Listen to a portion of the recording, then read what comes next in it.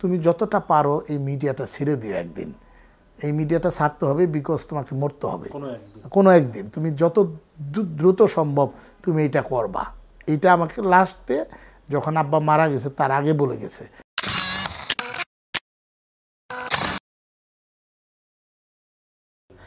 আসলে সবসময় বলি যে এটা হাদিস আছে সবসময় হাদিসের জায়গা থেকে যে ডান হাত দিয়ে দান করলে বাম হাত যেন বুঝতে না পারে। এইটা হলো আমাদের হাদিসের কথা।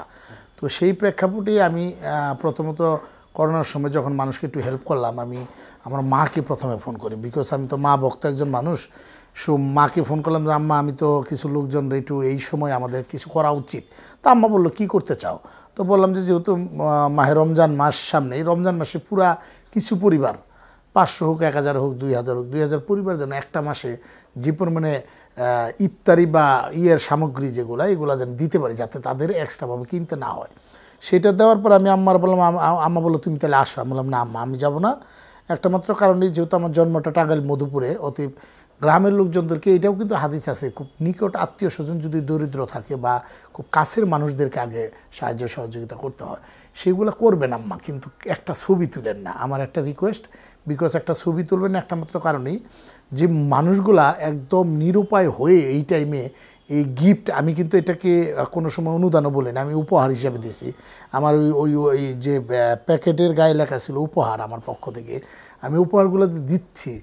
যারা নিচ্ছে, তারা যেন কোনোভাবে বুঝতে না পারে যে তাদের একটা ছবি আমার সোশ্যাল মিডিয়া বা অন্য অন্য জায়গায় গেছে। বিকজ আমি চিন্তা করি যে সবসময় দুইটা পয়েন্ট অফ ভিউতে চিন্তা করি। একটা পয়েন্ট অফ ভিউ হলো আমি সিদ্দিকুর রহমান, আমি আল্লাহ আমাকে একটু চলার মতো ভালো সামর্থ্য দিয়েছে দেখে আমি ভালোভাবে চলি। বাট যদি আমি তাদের জায়গায় থাকতাম, তাহলে আমার অবস্থানটা কী হইতো? সো দুইটা পয়েন্ট অফ ভিউতে যখন মানুষ চিন্তা করবে, মানুষ তো আজকাল বাংলাদেশে একটা পয়েন্ট অফ ভিউতে সবসময় চিন্তা করে, সেই জন্য নিজেকে হাইলাইটস করার জন্য আত্মকেন্দ্রিক চিন্তাকে প্রাধান্য দেয়। যারাই আত্মকেন্দ্রিক চিন্তাকে প্রাধান্য দেয়, তাদের মধ্যে এই ঝামেলাটা। অতএব আমি চিন্তা করছি নো সিদ্দিকুর রহমান, আমি সবসময় মজা করে একটা ডায়লগ দিই। যে উত্তর দিকে না, পূর্ব দিকে না, পশ্চিম দিকে না, দক্ষিণ দিকে না, কোন দিক? সিদ্দিক, দিকে দিকে সিদ্দিক। মানে চারোদিকেই থাকুক না, সো থাকব কিন্তু সেটাকে আমার হাইলাইটস করার দরকার নাই। আমি শুধুমাত্র মনে করি যে আপনারা এই হাইলাইটস হওয়ার জন্য এরকম পিক তুলে বা ভিডিও করে এগুলা সোশ্যাল মিডিয়াতে দিয়েন না বিকজ এটা একটা মাত্র কারণেই দিতে মানা করি। আপনি যদি ভালো হন, সেটা কিন্তু আপনার প্রতিভার মাধ্যমে বা মানুষ অটো জেনে যাবে। অতএব আমি মনে করি এটা করেন না, এটা আমি আমার সহকর্মী বা আমার ইয়ে পেশায় যারা আছে তাদেরকে একটা কথাই বলব প্লিজ এটা করেন না, তাহলে ভালো থাকবেন। আপনি ভালো থাকবেন, আপনার পরিবার ভালো থাকবে, বাবা মা ভালো থাকবে এবং আপনার সন্তানাদি ভালো থাকবে। আমি কিন্তু করোনার সময় আমার শিল্পীদের ভিতরে তো আছেই প্লাস ডিরেক্টর এবং অনেকেই যারা এই রিলেটেড ছিল, তারা আমাকে ফোন করেছে বিপদে পড়ে যে কীভাবে একটু হেল্প করা যায়। তখন আমি বলছি, আমি আপনাকে একটা অ্যামাউন্ট পাঠাবো, কিন্তু শর্ত একটা, আমি আর আপনি জানব, আর কেউ জানবে না। তো অনেকজন কেঁদেও ফেলছে যে সিদ্দিক ভাই, তোমাকে ফোন করে নিরাশ তো হয়েই নাই, কিন্তু যে সম্মানটা তুমি করছ, আল্লাহ তোমার ভালো করবে। এই যে দোয়াটা আমার ওইটা দরকার। আমি মনে করি যে, আমার যারা সহকর্মী, যাদের সামর্থ্য আছে, এই করোনাকালীন সময়ে মানুষকে একটু সহযোগিতা করার, হাত বাড়িয়ে দেওয়ার জন্য, নিজের আলোটাকে অন্যের উপরে ছড়িয়ে দেওয়ার জন্য মানে নিজের আলোয় অন্যকে আলোকিত করার সামর্থ্য যা- যাদের আছে, তাদেরকে বলব, প্লিজ এরকমভাবে করেন না। মেন্টাল স্যাটিসফ্যাকশন হবে ভিতর থেকে আপনার আনন্দটা আসবে এবং যাকে করবেন সেও খুব মজা পাবে যে আলটিমেটলি সে আমাকে সম্মানের সহিত আমাকে সম্মানটা করছে। সো এইটা করা উচিত। সর্বোপরি কথা হলে আমরা মানুষ। একজন অভিনেতা হতে হলে কিন্তু সর্বপ্রথম একজন ভালো মানুষ হইতে হয়। ভালো মানুষ ছাড়া ভালো অভিনেতা হওয়া। আম্মা কখনোই ভাবে না কারণ আমি যখন নটরডেম কলেজ থেকে পাশ করলাম বাংলাদেশের সেরা কলেজ যেখান থেকে পাশ করলে ছেলেমেয়েরা বিভিন্ন জায়গায় অ্যাস্টাবলিশড হয়। মানে নটরডেমের ছেলে অ্যাস্টাবলিশড হয় না, এটা নজির নাই বাংলাদেশে। বাট যখন আমি মিডিয়াতে কাজ শুরু করলাম থিয়েটার শুরু করলাম, তখন বাবা মার একটা ধারণা ছিল ছেলেটা কি নষ্ট হয়ে গেল? সেলটা কোন জায়গায় যাচ্ছে? মানে তারা খুব কনফিউজ ছিল। যখন আমি প্রথম ইনকাম করে মানে সলিড ইনকাম যেটা বলে, সেটা করে যখন আমি আমার মায়ের হাতে দিছি, তখন মা অতটা খুশি হয় নাই। হওয়ার পরে যখন সারা বাংলাদেশের মানুষের কাছে সরাই গেল, সিদ্দিকুর রহমান, এই লোকটা, তখন মা আমাকে বুঝছে যে না তখন আমার পরিবার, টাঙ্গাইল, মধুপুরের একশো পরিবারের মধ্যে একটা পরিবার ছিল। এখন সিদ্দিকুর রহমান মানে আমার নাম দিয়ে আমার টাঙ্গাইল, মধুপুরের অনেকে বলে যে আমার বাড়ি কিন্তু অভিনেতা সিদ্দিকুর রহমানের বাড়িতে। বা অনেক শিল্পপতিরা আছে যারা কিনা বলে যে আমাদের আমার এই থানা কিন্তু সিদ্দিক যে থানা, ওই থানা। দ্যাট মিন্স আমাকে ভর করেও অনেকে পরিচয় দেয়। তখন থেকে মার ভালো লাগল। তারপরে যখন আমার বাবা খুব হাজি মানুষ ছিলেন উনি মারা গেছেন পনেরো সালে। উনি চারবার চিল্লা করছেন হজ করছেন। আমি হজ করাইছে, আমি আমার সলিড পরিশ্রমের টাকা দিয়ে আমার যেহেতু বিজনেস আছে সব কিছু মিলাই কারণ আমি প্রত্যেকটা ইনকামকে আমি সলিড মনে করি। ওই জায়গাটা থেকে বাবাকে আমি হজ করাই আনছি। তবে বাবা মারা যাওয়ার আগে আমার হাতে ধরে তিনটা কমিটমেন্ট করে গেছে। তিনটা কমিটমেন্টের আমি একটা কমিটমেন্ট ফুলফিল করছি আর দুইটা কমিটমেন্ট এই এই এইটা করতে বলতে চাচ্ছি না। এর মধ্যে একটা হলো বাবা মারা যাওয়ার আগে শুধু যেটা নিয়ে আমি কথা বলতে চাচ্ছি সেটা হলো যে তুমি যতটা পারো এই মিডিয়াটা ছেড়ে দিও একদিন। এই মিডিয়াটা ছাড়তে হবে বিকজ তোমাকে মরতে হবে। কোনো একদিন। কোনো একদিন। তুমি যত দ্রুত সম্ভব তুমি এটা করবা। এটা আমাকে লাস্টে যখন আব্বা মারা গেছে, তার আগে বলে গেছে। তবে আব্বাকে একটা কথা বলছি যে, আসলে মিডিয়াটা তো ব্লাডের সাথে মিশে যায়। আমি সবসময় বলি যে, আমরা আইনজি লোক। আইনজি দ্যাট মিন শুটিং স্ক্রিপ্টিং তারপরে আমরা এডিটিং মানে যত ধরনের আইনজি আছে আমাদের এই আইনজিটা হলো আমাদের এখানে। তো যারা এই শুটিংয়ের খাবারটা একবার খাইছে যারা এই শুটিংয়ের সাথে জড়িত হয়েছে তারা কোনোভাবেই এখান থেকে সরতে পারে না। প্রচণ্ড কঠিন হয় কিন্তু বাংলাদেশে মোস্ট অফ দ্য শিল্পী বা মোস্ট অফ দ্য ডিরেক্টর একটা টাইমে কিন্তু ঠিকই সরে যায়। হতে পারে তার দারিদ্রতার কারণে সরে যায় হতে পারে প্রচুর অর্থ নিয়ে সরে গেছে এরকম ইতিহাস খুবই কম। বিকজ শিল্পীদের সবার কিন্তু পেনশন হয় শিল্পীদের কোনো পেনশন হয় না। নট অনলি শিল্পী মিডিয়ার লোকদের কোনো পেনশন হয় না। এইটা হয়, আমাদের একটা অ্যাচিভমেন্ট আছে যে আমি জীবনে অ্যাচিভমেন্ট করলাম, ভালো পড়াশোনা করলে যেমন রেজাল্ট ভালো হয়, তখন বৃত্তি দেয়, বৃত্তির এগেনস্টে দেখা যায় পড়া যায়। বাংলাদেশ সরকারের পক্ষ থেকে এরকম কোনো ধরনের উদ্যোগ কিন্তু আমাদের এখানে নাই। হ্যাঁ সে এটা আমাকে বিভিন্ন অ্যাঙ্গেল থেকেই বোঝাইছে। একটা ইসলামের শরীয়ত মতো আমাকে বোঝাইছে যে তুমি এখান থেকে সরে যাবা এই একটা কারণে।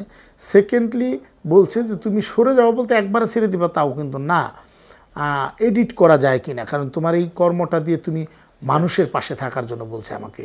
এবং দ্বিতীয় যে শর্তটা ছিল আমার বাবার সেটা হলো যে আমার নির্বাচনী এলাকা থেকে জনগণের জন্য আমার এলাকায় যেন আমি এমপি পদে নির্বাচন করি। এবং সেই উদ্যোগের বাবার ওই কথাকে রক্ষা করার জন্যই যেহেতু আমরা ফ্যামিলিগতভাবেই একদম অনেক রুট লেভেল থেকে আমরা আওয়ামী লীগ পরিবারের সন্তান। সো ওই জায়গাটা থেকেও আমরা আমি গতবার ট্রাই করেছিলাম। মাননীয় প্রধানমন্ত্রী আমাকে যোগ্য মনে করে নাই বল- বলেই আমাকে ওই মাঝি হিসাবে নৌকায় উঠায় নাই। হ্যাঁ হ্যাঁ তবে আমাকে বইটা দিয়ে বলছে যে এই নৌকাটা কিন্তু বাইতে হবে। অন্তত আমি তাকে একটা কথা বলছি যে আমি যদি নৌকা মাঝিও না হতে পারি তবে আপনার নৌকার যে গুণটা সেটা আমি টানতে চাই। সো ওই জায়গাটা থেকে বাবার দ্বিতীয় স্বপ্নটা পূরণ হবে। তৃতীয় স্বপ্ন যেটা সেটা বলতে চাচ্ছি না বলব না আব্বার সেই স্বপ্নটা আমি পূরণ করে ফেলছি। তাহলে তো বলা যায় বোধহয় মানে না সেটা বলা যাবে না একটা মাত্র কারণে হ্যাঁ এই সেটা একটা মাত্র কারণেই বলা যাবে না এটা আমি ওই জিনিসটা নিয়ে আমি আলোচনা করতে চাই না। আচ্ছা পরিবার থেকে খুব একটা মানে অনুপ্রেরণার জায়গা আপনার? না না কখনোই ছিল না এবং আমিও কিন্তু সত্যি অর্থে বাংলাদেশে শিল্পীদের একটা স্বপ্ন থাকে। ডিরেক্টরদের একটা স্বপ্ন থাকে রাইটারদের একটা স্বপ্ন থাকে। আমি এই পর্যন্ত চল্লিশটার মতো নাটক লিখছি। এর মধ্যে আমার উল্লেখিত নাটক হলো সাইয়া সাইয়া, যে নাটকটা সারা বাংলাদেশে খুব আলোড়ন সৃষ্টি করছে।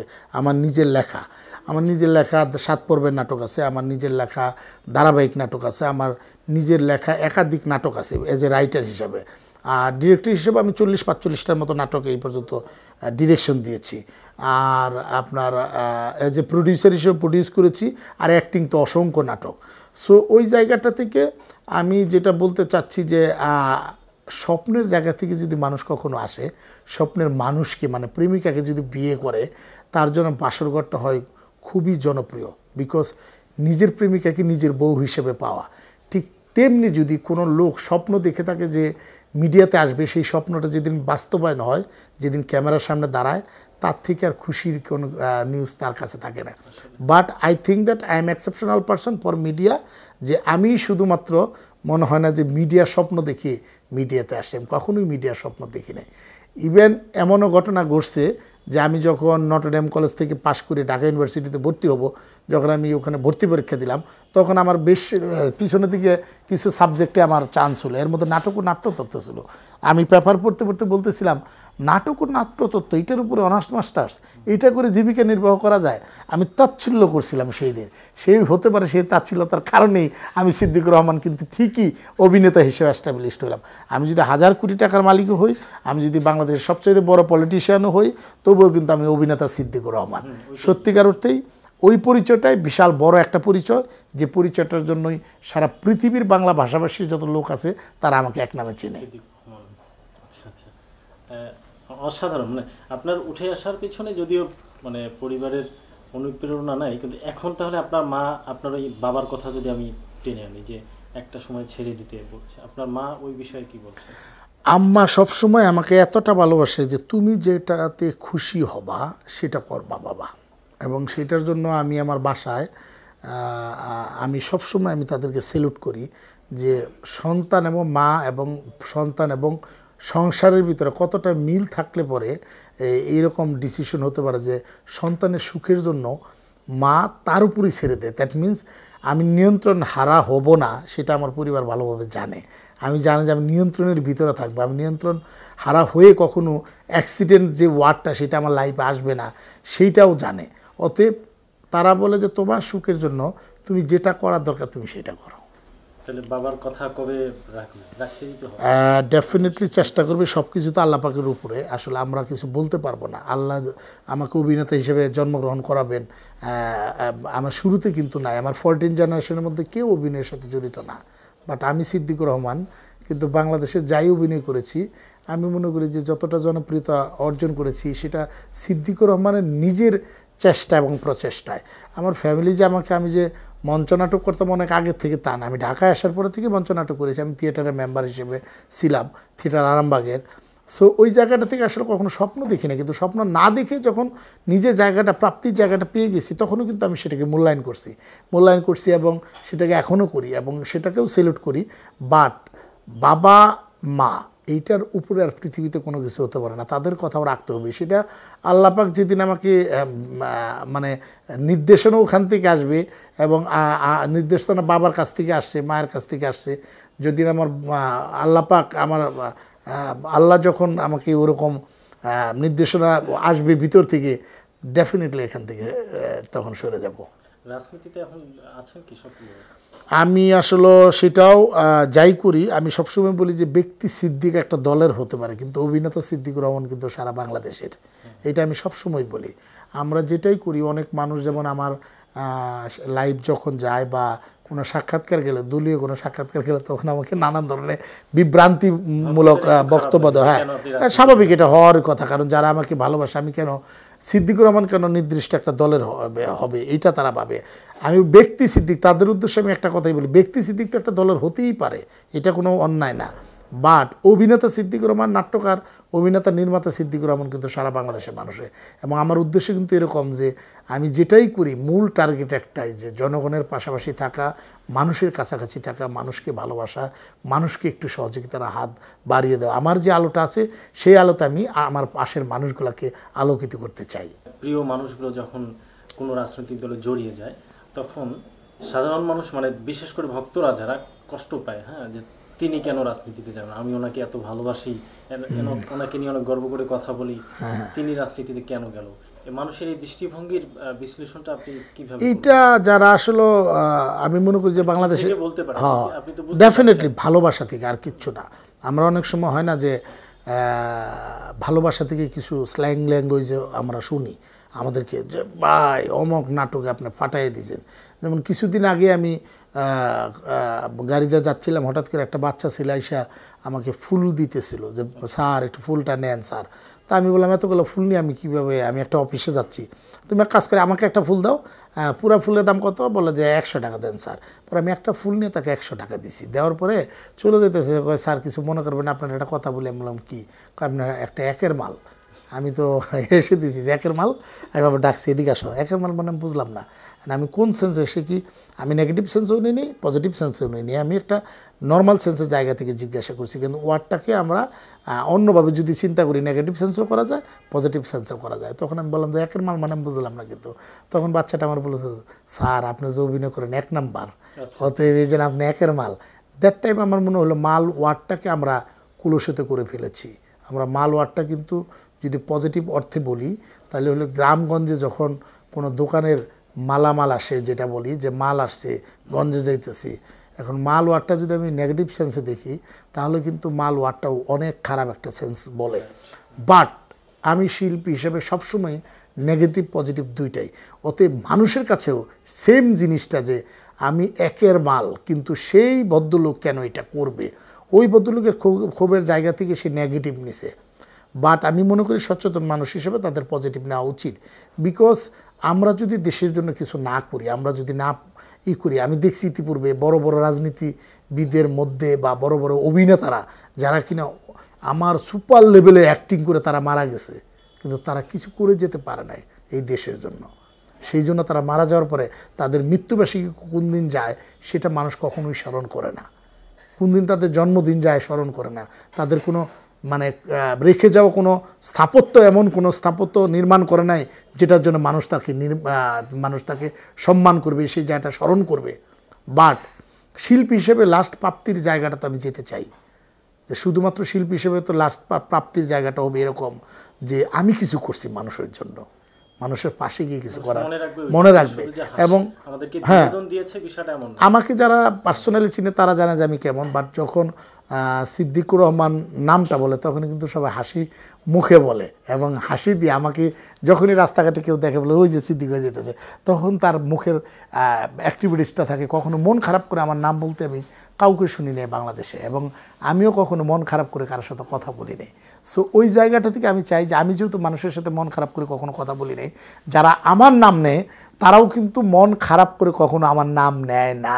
আমাকে দেখা মাত্র একটা হাসি দিয়ে বলে, ওই সিদ্দিক ভাই যাচ্ছে। ওই যে সিদ্দিকুর রহমান অভিনয় করে। সো ওই জায়গাটা থেকে আমি চাই যে মৃত্যুবরণ করার পরেও যেন ওই হাসিটা দিয়ে অন্তত বলে, এইটা সিদ্দিক ভাই করে গেছে, এইটা সিদ্দিক ভাই করে গেছে, এইটা করে গেছে। আমি সেই লক্ষ্যেও আমি আমার নিজের এলাকায় কিছু উদ্যোগ নিয়েছি এবং করেছি। যেমন এইটা আমি একটু আগেই বলেছি যে আমি বলতে চাই না, কিন্তু এই শুধু কথা প্রসঙ্গে বলতে হবে যে আসলে তাহলে আপনি কি এই লক্ষ্যে কোনো কিছু করছেন কিনা? আমি অবশ্যই এই লক্ষ্যে আমি আমার নিজের এলাকায় যেমন কেন্দ্রীয় ঈদগাহ মাঠ সেটাতে আমার নাম লেখা গেটের মধ্যে বিকজ আমি আমার নিজের টাকা দিয়ে আমার বাবা থাকাকালীন অবস্থায় আমি এটা না তৃতীয় আরেকটা আছে সেটা বলতেছি না সেটা করে দিছি। আমি যে স্কুলে পড়তাম সেই স্কুলে একটা ছাত্রাবাস করে দিছি করতেছি এখনও কাজ চলতেছে সিদ্দিকুর রহমান ছাত্রাবাস কারণ আমি অনেক দুষ্ট ছেলে ছিলাম। আমার যে টিচাররা তারা বলছে এই দুষ্ট ছেলেটাকে আমরা সারা জীবনের জন্য একটা ইয়েতে রাখতে চাই একটা ফ্রেমে রাখতে চাই আমাদের হ্যাঁ।